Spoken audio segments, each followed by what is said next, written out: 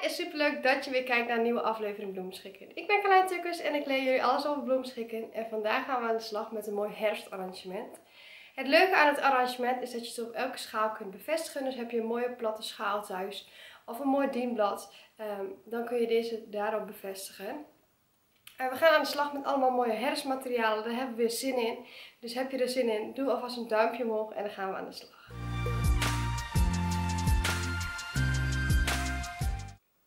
Nou meedoen met deze les? Hieronder in de beschrijving vind je een linkje waar je het kan bestellen. Dan krijg je een compleet pakket inclusief bloemen en ondergrond en alle materialen wat je nodig bent thuis bezorgd. We leveren door Nederland, België en Duitsland. Dus um, mocht je dat nodig zijn, dan wil je gelijk meedoen. Uh, dan kun je het via daar bestellen. En dan gaan we nu gauw bezig. Als eerste heb ik een waterschaal. Deze kun je dus overal bevestigen. Voor de oase lekt niet door. En je kan hem op elke schaal bevestigen wat je zelf maar wil. Um, een blok oase die bevestigen we daarop en we snijden even de zijkantjes af zodat we het goed en verantwoord kunnen gebruiken. En dan gaan we beginnen met het steken van de bloemen.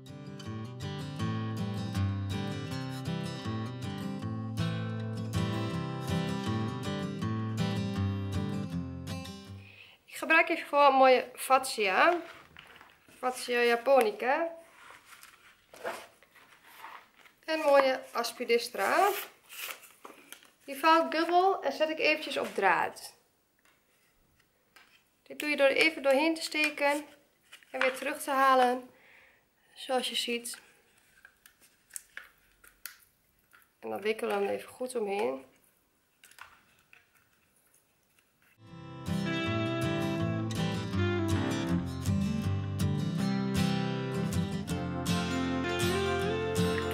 En dit doe ik met nog eentje, alleen al iets minder ver, zodat hij iets langer is. Je hebt dan ook een iets langer draadje nodig. Prik hem doorheen. Wikkel hem eromheen. Ik snij alles aan. Die langere, die doe ik wat meer in het midden.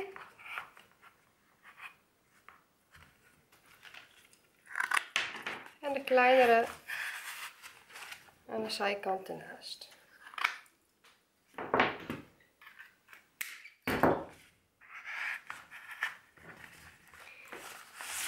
En dit doe ik ook aan deze kant.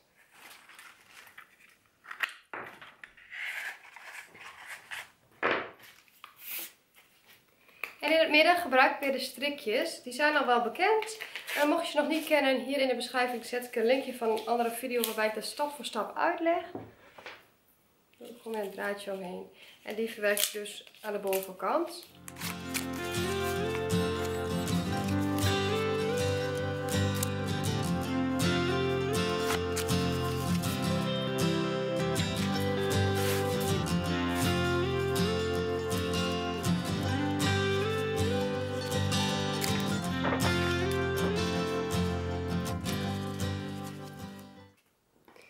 Vul ik de rest op met mooie asprages.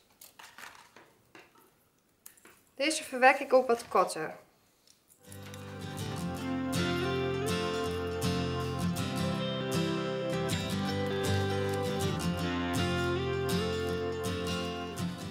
Ziet heb ik dan al een mooie basis gemaakt. En dan gaan we nu verder met de bloemen verwerken. Uh, zoals je ziet is de schaal eigenlijk al weggewerkt omdat je hem iets schuin wegsteekt en over de schaal heen stikt, dan zie je het waterschaaltje straks niet terug. Dat wil je namelijk niet, want je wilt het op je mooie schaal neerleggen en die moet tot zijn recht komen. Dus het is belangrijk dat je straks je onderschaaltje niet meer ziet.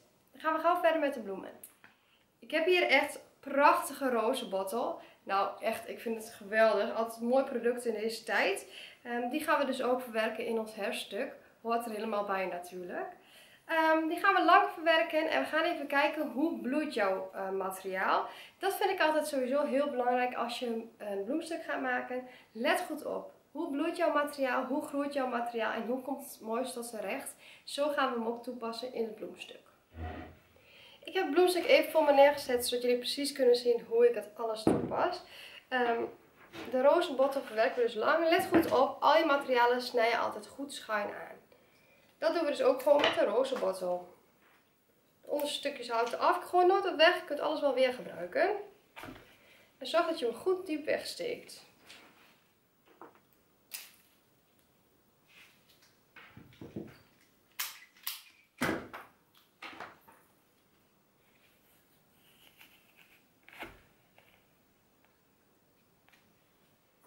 Zoals je ziet geeft de roze boter echt al sfeer aan je stuk. Ehm, en nu gaan we verder opwerken met andere mooie herfstmaterialen, waaronder mooie lampionnetjes. Die horen natuurlijk ook helemaal bij. En die gaan we ook lang verwerken, want dan komen ze natuurlijk mooi tot z'n recht. Je kunt lampionnetjes ook los verkrijgen. Ehm, dan kun je ze eventueel kort verwerken, maar deze willen we natuurlijk lang verwerken. Schuin aansnijden natuurlijk heel belangrijk. En die verwerken we weer tussen.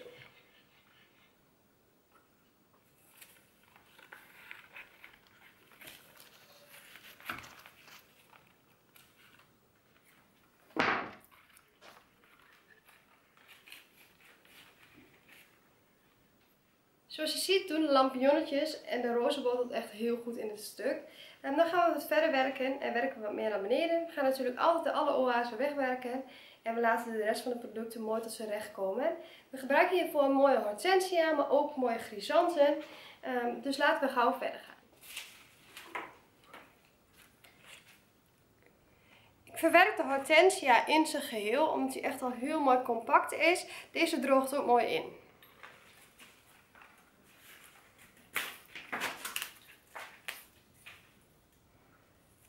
Natuurlijk altijd even goed schuin aansnijden. Heel belangrijk ook bij hortensia's.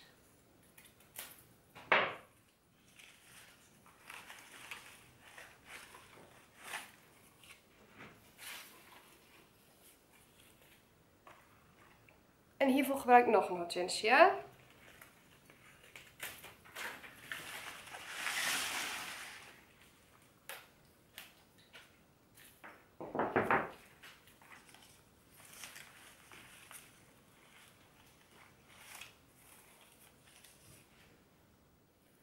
Dan gebruik ik deze prachtige kopgrisanten. Echt heel mooi. Altijd voorzichtig mee zijn, want als een kopgrisant één blaadje eraf hebt en je hebt hem beschadigd, dan valt hij helemaal uit.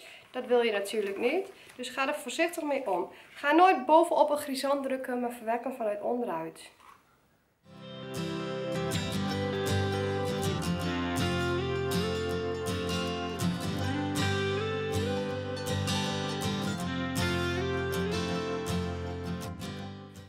Dan heb ik echt prachtige kalabasjes. Hier doe ik eventjes een stok onderin.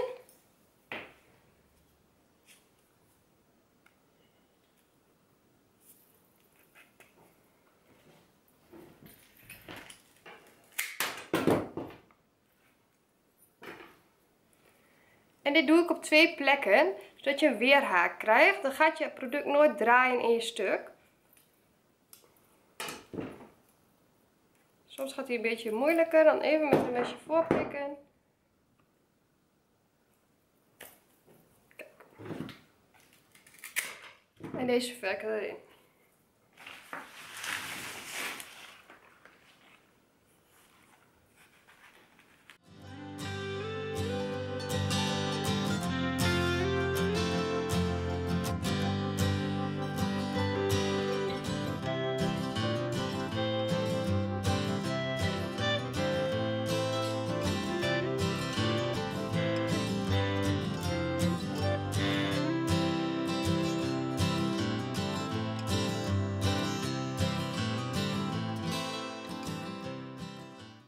Dan heb ik prachtige Craspedia bolletjes. Ook deze ga ik op verschillende hoogtes verwerken.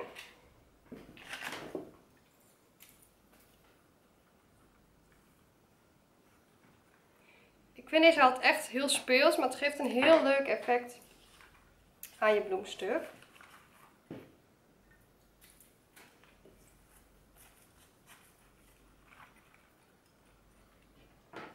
Op deze manier breng je ook diepte aan in je stuk.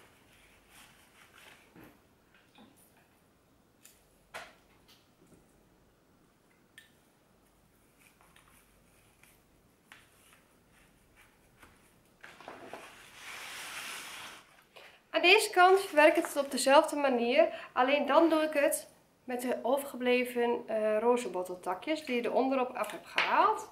Wel even weer aansnijden. Schuin aansnijden.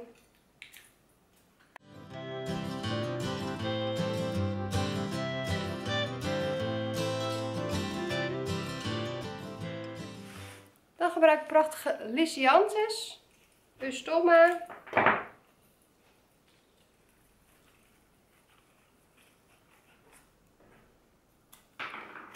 verwerk ik iets korter, maar wel dat hij mooi tot zijn recht komt.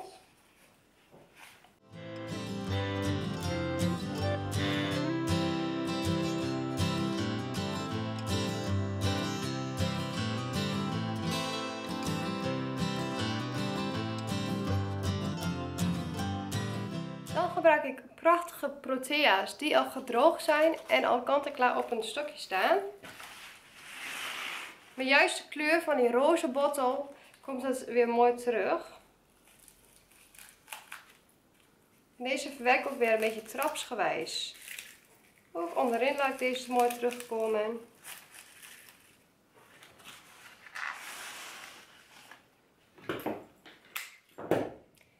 En om het tussendoor nog iets spannender te maken, verwerk ik nog eventjes wat asparagus hoger op.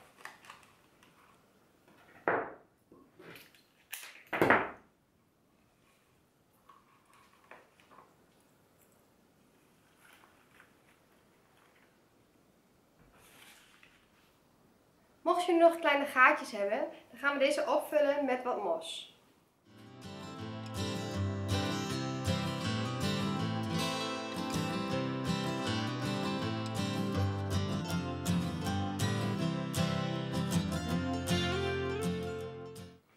En zoals je ziet hebben we dan echt een super mooi bloemstuk. Echt mooi dat alle producten mooi tot zijn recht komen. En ook de materiaalkeuze richting de herfst is gewoon echt prachtig. Dan ga ik jullie nu verschillende soorten ondergronden laten zien waar je het eventueel op kan neerzetten. Je kan het natuurlijk ook zo neerzetten, is ook helemaal niets mis mee. Maar soms kan de schaal nog extra eventjes wat toevoegen. Dat ga ik jullie nu laten zien.